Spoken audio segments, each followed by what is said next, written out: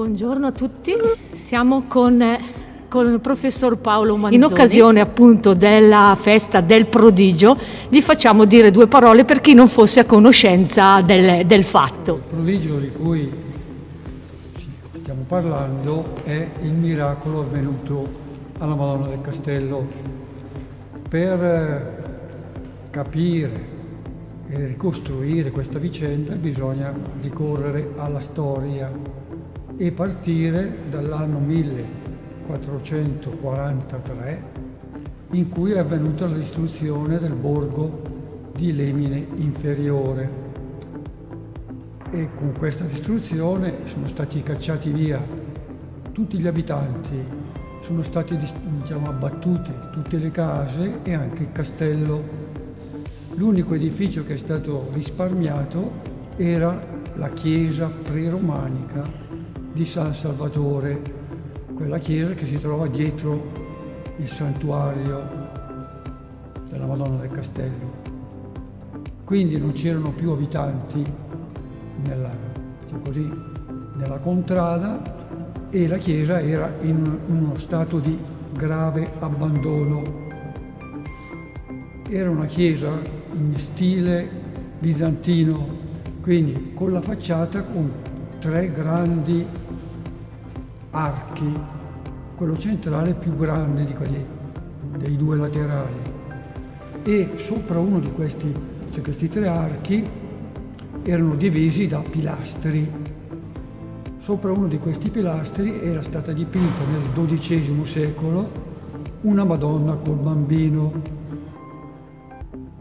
una Madonna che viene, diciamo così, eh, in modo specifico chiamata Odigitria, cioè Madonna che indica il cammino perché ha in braccio Gesù e con, un, con, la, con, la, con una mano indica il figlio che, che tiene in braccio e il bambino ha in mano il rotolo della Sacra Scrittura. E quindi praticamente la Madonna indica la via, cioè Gesù, la via per la salvezza. Ora questo affresco che si trovava sopra il pilastro, quando è stato, diciamo così, abbattuto, abbattuto il, la contrada di Armenno Basso, di Lemine Inferiore, era, in, era anch'esso in abbandono. La facciata della chiesa, avendo questi, questi tre grandi archi d'accesso, era piuttosto fragile dal punto di vista eh, architettonico e quindi con l'abbandono rischiava il crollo.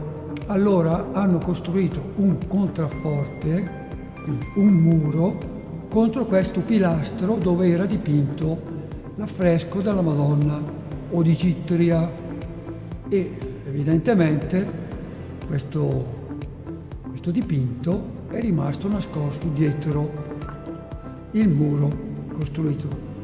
E ecco che è successo questo miracolo, questo prodigio che hanno trovato il muro respinto dalla Madonna di un metro e mezzo.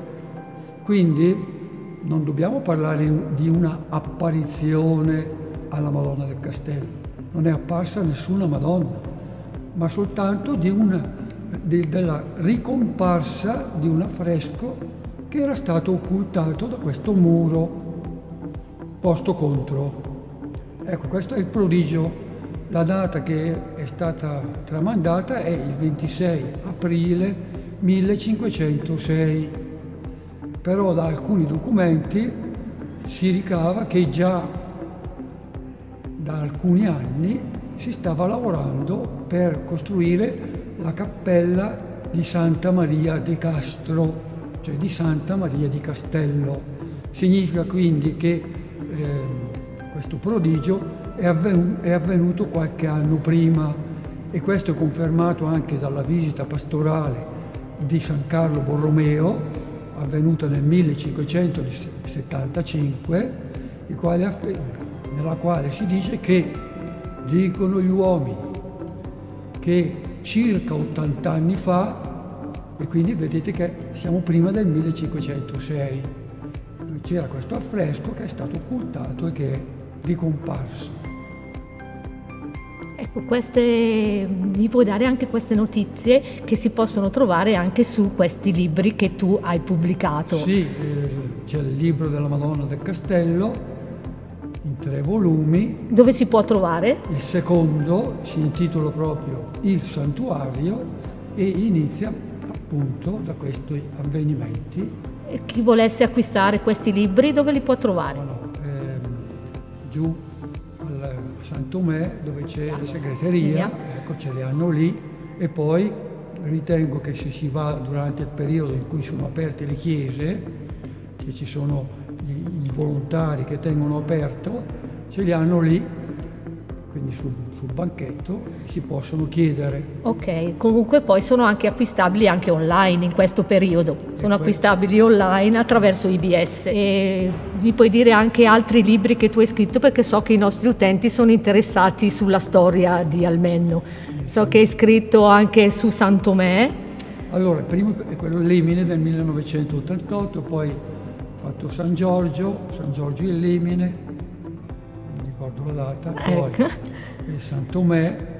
Poi quelli della beneficenza, poi mi ricordo, ad Almenno. Beneficenza ad Almenno questi della Madonna, i tre volumi della Madonna, del, Madonna del Castello e più varie guide. Poi eh, quello degli Agostiniani d'Almenno che parla di, della nostra chiesa di San Nicola. San Nicola e della chiesa Santa Caterina di Tremozia del San Bartolomeo. E poi ho collaborato anche il primo volume della storia di Almeno San Bartolomeo, anche quello sono tre volumi.